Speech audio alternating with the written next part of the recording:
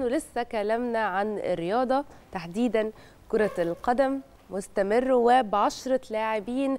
منتخبنا الأولمبي خسر أمام المنتخب المغربي في أول نهائي عربي في أمم أفريقيا تحت 23 سنة.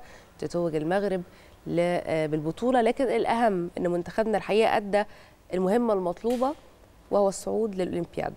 لاعبين منتخب مصر عملوا اللي عليهم فخورين بكل تأكيد باللي قدموه طوال مشوارهم في آه، البطولة. يا شاذلي المباراة ما كانتش سهلة.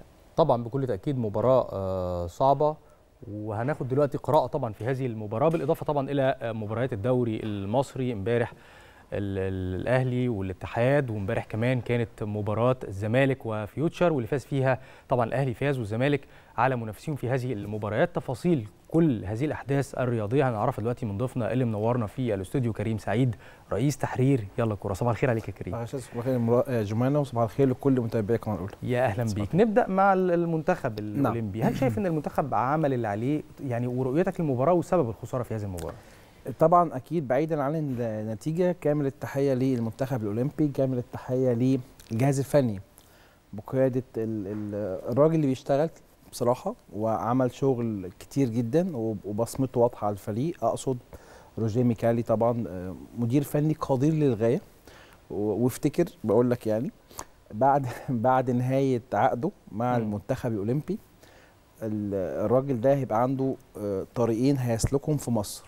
إما إما لو كرسي المدير الفني المنتخب الأول فاضي هيروح له أو هيروح أحد الأندية الكبيرة في مصر. راجل آه، مدير فني كبير جدا. تكتك وتحويله لمنظومة اللعيبة الولاد دول إحنا بنتفرج عليهم من زمان. المستوى اللي أنا شفته عليه امبارح فريق بيلعب من تقريبا الدقيقة 18 بيلعب ب 10 لعيبة لغاية الدقيقة 120 ونضيف عليهم طبعا الأوقات البدل الضايع اللي هم هيوصلوا حوالي 20 دقيقة. فريق ده لعب أكتر من ساعة ونص. ب 10 لعيبة قدام منتخب قوي للغاية. عنده لعيبة آه، في أندية كبيرة. شفنا امبارح الزلزولي طبعا لاعب المنتخب المغربي. لعيب مميز للغاية ولعيب آه، سكيلر بشكل عالي جدا. آه، الفريق المغربي رغم إن هو كان بيلعب زايد عدد واحد إنما ما قدرش خالص يحسسك إن هو في الملعب منتشر أو مستفيد من حالة الطرد. فأنا بحيي بصراحة المنتخب رغم الخسارة وأكيد أتفق جدا جدا معاكم إن الهدف الأساسي اتحقق وهو الوصول لباريس 2024 مهم. طيب كريم برضو من الحاجات الحقيقة المبهجة كمان والمشرفه فكرة إنه يتوج لاعبين آه، من آه، منتخبنا الأولمبي آه، ب- كان- لو هنتكلم عن حمزة علاء أي. أفضل حارس أو حتى إبراهيم عادل أفضل لاعب بالرغم من الخسارة أمام المباراة النهائية شوفي طبعا أكيد هو آه، أنا في وجهة نظري آه، أفضل حارس وأفضل لاعب بيبقى اوريدي تم اختيارهم قبل المباراة لأن استحاله آه، يتم اختيار أفضل حارس في البطولة بشكل عام وأفضل لاعب بشكل عام من المباراة النهائية بس لا. خلاص ده بيبقى أمر يعني خلاص تمت اختياره قبل المباراة تراكمي طيب من خلال آه طبعا. البطولة كلها البطولة. كلها مثلا حمزة علاء امبارح وعنده خطأ واضح في الهدف الثاني لكن وهي في الآخر بني آدم برضو. قصدي لا، يعني لن يحاسب يعني اللجنة الفنية ما ينفعش تيجي تحاسبه على الخطأ ده صحيح. وتنسى له كل ال- البطولة. ده ما, ما, ما, ما ينفعش. بس اللي انت قلتيه ده بالظبط بي بيترجم اللي إحنا بنتكلم عليه. بيترجم الشغل بتاع الجهاز الفني اللي يخلي النهارده لاعب إبراهيم عادل لاعب نادي بيراميدز خد أفضل لاعب في البطولة على حساب مثلا زلزولي. راجل بيلعب already في برشلونة وراح اعاره كذا نادي. ويعني ومتاح لأندية كبيرة جدا في أوروبا. لاعب محلي ما خدش أي تجربة احترافية بيلعب في بطولة قارية وبينجح إن هو ياخد منه اللقب ده لقب مش قليل واللقب. النهارده كل ال scouting اللي في العالم بيتابعوا البطولة وبيشوفوا إن في لاعب محلي اسمه إبراهيم عادل لما يجيبوا. سي- ما- ما راحش في أي حتة غير بير يعني شفناه في بيراميدز مم. بيقدر إن هو ياخد أفضل لاعب في البطولة ودي حاجة كبيرة جدا وبرضه تضاف للجهاز لا الفني السن عظيم. كمان تحت 23 سنة ده مش سن صغير إحنا مش بنتكلم يعني في, في أشبال لا طبعاً 23 سنة دي بيبقى مش مش في عمر لاعبين كرة القدم بيبقى فيهم خلاص محترفين بالفعل في أندية كبيرة صحيح صحيح صحيح طيب فنيا المباراة كانت ماشية إزاي؟ هل. اللعيبة أدت اللي عليها؟ آه طب شوف طبعا إحنا أنا في وجهة نظري المبار... لو منتخب مصر كان بيلعب كامل لغاية الدقيقة الأخيرة كانت نسبة فوز المنتخب المغربي باللقب لن تتعدى ال 5% خالص. إيه الدليل على كلامي؟ المنتخب المصري خلال ال ال ال 17 دقيقة اللي لعبهم كامل واللي أحرز فيهم واحد من أحلى من أحلى هقول إيه مش أهداف البطولة يعني أهداف السنة دي اللي إحنا بصراحة شفناها هدف محمود صابر هدف يعني خيالي هدف من الأهداف اللي إحنا ما بنشوفهاش غير عن طريق كريستيانو رونالدو. هدف يعني بصراحة بسم الله يعني هدف حلو قوي حلو جدا جدا مهاري. جدا يعني. آه، طبعا أنا طبعا مش عايز ألوم محمود صابر. هو تقريبا خد عين بعد ما عدنا نشيب بالهدف بتاعه على طول. هوب عمل طبعا تدخل. أنا في وجهة نظري بصراحة يعني طبعا تدخل تدخل عنيف للغاية تدخل يعني في تهور شديد. واكيد مش مقصود مليون في المية مش مقصود.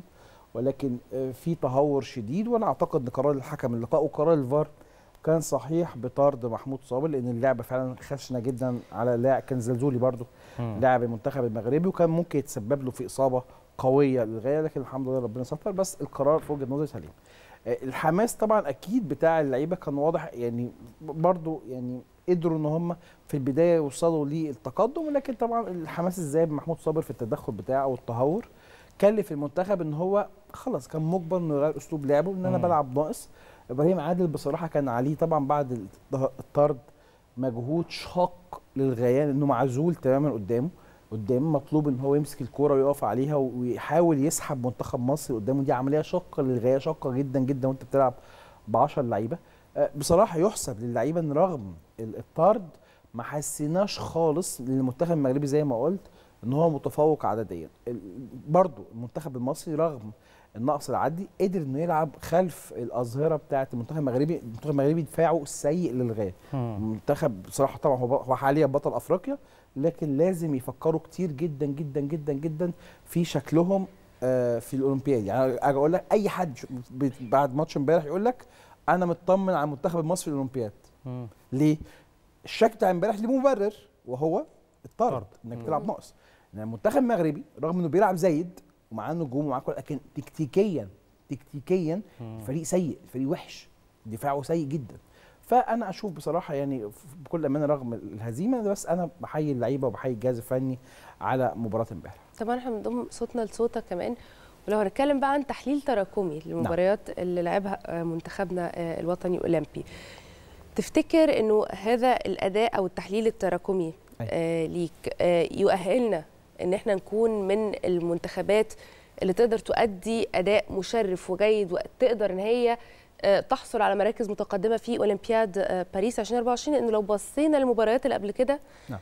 خلينا نقول إنه كان حسب التحليلات اللي بتخرج إنه آه، كان في إهدار لفرص كتير جدا. نعم. ما كانش في synchronization أو ما كانش في تواصل جيد مع اللعيبة. نعم. فكان في بعض الأخطاء اللي استمرت لأكتر من مباراة بالمناسبة. طيب هو أول حاجة طبعا لازم نقول إن الم- المنتخب الأولمبي- المتابع للم- للمنتخب ده من من حوالي أكثر من سنة كان هيشوف إن هو كان عنده مشاكل كتيرة جدا. طيب الفريق في البطولة الحالية فضل عنده clean sheet ل آه، أربع مباريات متتالية بنتكلم ثلاث مباريات في المجموعات ومباراه ال semi-final لغاية لما تلقى هدفين في المباراه النهائية اللي كسرت ال- ال- الرقم اللي أنا بتكلم عليه ده وده بالتالي بي بيشير إلى قوه التكتيك الدفاعي. ده مم. مش قوة العيال بس لا مستحيل. مفيش فريق يعمل في تكتل. دفاعي وفي حراسه مرمى كمان برضه لازم طبعاً، يشيد طبعاً، بدورها طبعاً. مفيش فريق يلعب يعمل كلين شيت أربع مباريات إلا ما يكون في دور للجهاز الفني والتكتيك اللي بيلعب بيه. في مشاكل في الفريق مليون في المية. مليون في المية في مشاكل في الفريق لأن بصراحة الجيل الحالي المواهب فيه قليلة. المواهب فيه قليلة جدا جدا وده برضو يحسب للجهاز الفني. رغم ندرة المواهب معاه معهمش لعيبة نقدر نقول إن هي يعني بخلاف إبراهيم عادل ما نقدرش نقول إن في أسماء يعني قوية بتلعب مع أنديتها بشكل كبير في الدوري الممتاز أو حتى في دوري أبطال أفريقيا. في أزمنة سابقة كان في أجيال قوية جدا جيل رمضان صبحي جيل عماد متعب 2003 كان في أجيال قوية جدا جدا جدا جدا وبيلعبوا مع أنديتهم بشكل أساسي. المرة دي الجيل مختلف. ومش عايزين طبعا ننسى إن طبعا أكيد قبل أولمبياد باريس كل المنتخبات المشاركة عندها آه، مساحة إن هي تضم ثلاث لعيبة فوق السن. فدول أكيد هيضيفوا. فنيا لما يجي مثلا منتخب مصر مثلا يعني هيضم أحمد حجازي هيضم محمد صلاح مساحة يعني في, في. مساحة لحمدي فتحي عمر مرموش مصطفى فتحي طبعا آه، مصطفى محمد. فأكيد طبعا في ثلاث لعيبة في أكيد تعزيزات آه يعني. طبعا هيضيفوا جدا جدا جدا للمنتخب. وأنا إن شاء الله متأكد إن إحنا هنشوف شكل مختلف للمنتخب في الأولمبياد. عظيم.